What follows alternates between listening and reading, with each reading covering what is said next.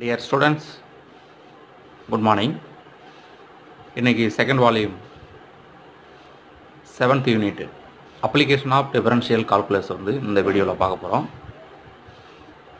இந்த differential integral அப்படின்னாலே நம்ம கஷ்டமாக ஃபீல் பண்ணுறோம் ஆனால் அது ஈஸி தான் அப்படின்றத நிறைய பேர் புரிஞ்சுக்கிறது இல்லை. காரணம் என்னன்னு சொன்னால் அது எப்போ ஈஸியாக இருக்கும் அப்படின்னு சொன்னால் அந்த டிஃப்ரென்ஷியல் ஃபார்மாஸ் அத்தனையும் படித்து வச்சுருக்கணும்.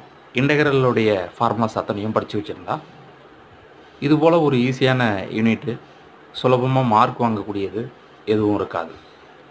இப்போ நிறையா பார்த்தீங்கன்னா இதுக்கு முன்னாடி ஃபஸ்ட் வால்யூமில் படித்த எல்லா டாப்பிக்குமே சம்ஸ் வந்து ஸ்டெப் பை ஸ்டெப்பாக நிறையா கொண்டு போய் அஞ்சு மார்க் வாங்குறதுக்கும்.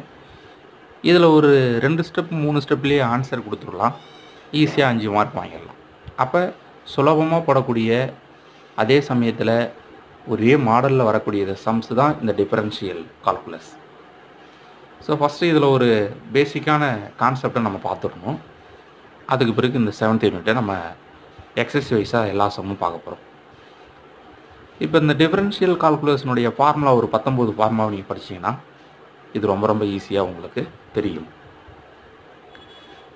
இப்போது அதை ஈஸியாக ஷார்ட்கட்டாக உங்களுக்கு ஞாபகத்தில் வச்சுக்கிறத இப்போ நான் சொல்லித் தர போகிறேன் பாருங்கள் ஸ்டூடெண்ட்ஸ் வீடியோவை பாருங்கள் இப்போது ஒய் அப்படின்னு ஒரு பக்கம் எழுதிக்கோங்க. இன்னொரு பக்கம் டிஒய் பை டிஎக்ஸ் அப்படின்னு எழுதிக்கோங்க. இப்போ இதெல்லாம் ஃபங்க்ஷனாக எடுத்துக்கோங்க. இதை டிஃபரன்ஷியல் பண்ணதாக எடுத்துக்கோங்க. இப்போ பேசிக்காக லெவன்த்து ஸ்டாண்டர்டில் நம்ம படித்த ஃபார்மாஸ் தான் இப்போ நம்ம பார்க்க போகிறோம் number one X power N அதனுடைய டிஃபரன்ஷியல் எக்ஸை பொறுத்து தான் அது டிபெண்ட் பண்ணியிருக்கு இந்த டி என்பது ஆப்ரேட்டரு இது டினாமினேட்டரில் இருக்கிறது தான் எப்பயுமே முக்கியமாக கவனிக்கக்கூடியது. அப்போ டிஃபரன்ஷியல் வந்து எக்ஸை பொறுத்து பண்ணணும். எக்ஸ் பவர் எண்ணுக்கு ஃபார்முலா பவரில் இருக்கிற என் வந்து முன்னாடி வரும். பவரில் ஒன்று குறையும். அப்போ N X power N minus one number two A power X ஒரு வேரியபிளுடைய பவரில் என் இருந்தால் என் முன்னாடி வந்து பவரில் என் மைனஸ் ஒன் குறையும். இப்போ இந்த ஏன்ற நம்பரு வேரியபிளுடைய பவரில் எக்ஸ் இருக்குது பாருங்கள் இப்போ வேரியபிளுடைய பவரில் கான்ஸ்டன்ட் இருந்தது. இப்போது வேரியபிளுடைய பவரில் அதாவது கான்ஸ்டன்டுடைய பவரில் எக்ஸ் இருக்குது அப்போ நம்ம என்ன கொண்டு வரோம் அப்படின்னா ஏ பவர் எக்ஸு நார்மலாக வச்சுக்கோங்க. எக்ஸ் பவர் என்னுடைய differential N X power N minus one A power எக்ஸை டிஃப்ரென்ஷியல் பண்ணும்போது A power X log A that is very important formula எல்லாமே முக்கியம். அதில் இதை நீங்கள் முக்கியத்துவம் கொடுத்து படிக்கணும். தேர்டு ஒன் இ பவர் எக்ஸை டிஃபரன்ஷியல் பண்ணும்போது இ பவர் எக்ஸ் தான்.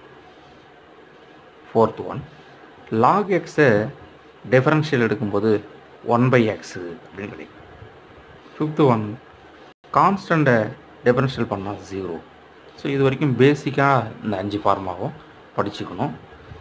அடுத்தது ட்ரிகனாமெட்ரிக்கு பேஸ்டு வரக்கூடிய ஃபார்மாஸ் ரொம்ப ரொம்ப முக்கியம். சைன் எக்ஸை டிஃபரன்ஷியல் பண்ணால் காஸ் எக்ஸ் அடுத்தது காஸ் எக்ஸை டிஃபரன்ஷியல் பண்ணும்போது மைனஸ் சைன் எக்ஸ் ஒரு விஷயத்தை புரிஞ்சுக்கோங்க. முதல்ல சீன்னு ஆரம்பிக்கக்கூடிய எல்லாத்துலேயும் மைனஸ் ஃபஸ்ட்டு வரும். அப்புறமா ஃபங்க்ஷனை பார்த்து டிஃபரன்ஷியல் எழுதணும். ஃபஸ்ட்டு சி ஸ்டார்ட் பண்ணோம்னா மைனஸ் போடணும் காஸ் எக்ஸை டிஃபரன்ஸ் பண்ணால் மைனஸ் சைன் எக்ஸ் இந்த ஷார்ட்கட்டும் மறந்துடக்கூடாது சி அப்படின்னு ஆரம்பிக்கும் போது அது cos X cot X cosecant X அப்படின்னு இருந்தாக்க மைனஸ் தான் ஃபஸ்ட்டு ஃபஸ்ட்டு லெட்டர் வந்து சி ஆரம்பிக்கும் போது minus eighth one tan எக்ஸுடைய differential secant square X okay cot எக்ஸுடைய differential பாருங்கள் முதல் லெட்டர் சி வந்திருக்கு. கண்டிப்பாக மைனஸு காட் எக்ஸை பண்ணால் கொசிகன் ஸ்கொயர் எக்ஸ் அப்படின்னு போடுங்க. டென்த் ஒன் சீக்கண்ட் எக்ஸை டிஃபரன்ஷியல் பண்ண போகிறோம் சீக்கண்ட் எக்ஸை டிஃபரன்ஷியல் பண்ணும்போது secant X tan X eleventh cosecant எக்ஸை டிஃபரன்ஷியல் பண்ண போகிறோம் மைனஸ் தான். முதல்ல லெட்டர் சின்னா minus minus cosecant X cot X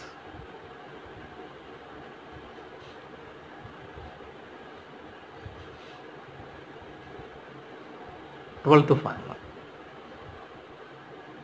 இப்போது இது வரைக்கும் சைன் காஸ் டேன் காட்டு சீக்கன் கொசிகன் இப்போ இன்வர்ஸில் கண்டுபிடிக்க போகிறோம் அதனால் சைன் இன்வர்ஸ் எக்ஸு அது one divided by root of one minus x square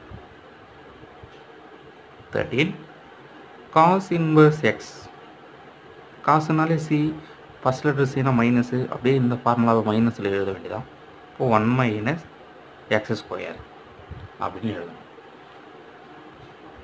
So fourteenth formula tan inverse x அதுக்கு one by one plus x square அப்படின்றது formula one by one plus x square okay fifteenth formula பாருங்கள்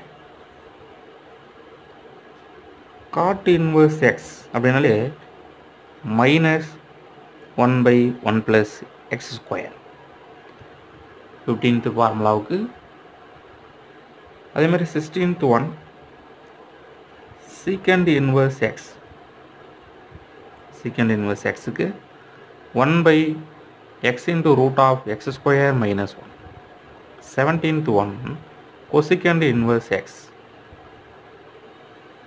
minus one divide by x into root of x square minus one ஏன்னா first letter C அதனால் minus இது அப்படியே மைனஸில் எழுதுனா அது கொசிக்கன் inverse எக்ஸோடைய formula two one UV differential பண்ணும்போது u v dash plus v u dash ஒன்றை வச்சுட்டு ஒன்று டிஃப்ரென்ஷியல் பண்ணணும். இதை எளிமையாக சொல்லி தந்திருப்பேன். இரண்டு நண்பர்கள் கடைக்கு செல்கிறார்கள். ஸ்வீட் ஒன்று வாங்குறாங்க. மிச்சர் வாங்குறாங்க. ஃபஸ்ட்டு எது ஒன்று தான் சாப்பிடுவாங்க. ஸ்வீட்டை ஃபஸ்ட்டு எடுத்துக்கிட்டாங்கன்னா அதுக்கு பிறகு மிச்சரை சாப்பிடுவாங்க. அப்போ அந்த மாதிரி ஒரு ஐடியாவாக ஒரு ஜாலியாக அதை சொல்லி தரும்போது மறக்காது. ஸோ ஒன்றை வச்சுட்டு ஒன்றை டிஃபரன்ஷியல் பண்ணணும் அப்படின்ற கான்செப்ட்டுக்கு இது சொல்லி தர்றது இந்த உதாரணம். So last one u by v அப்படின்னு பார்ப்போம்.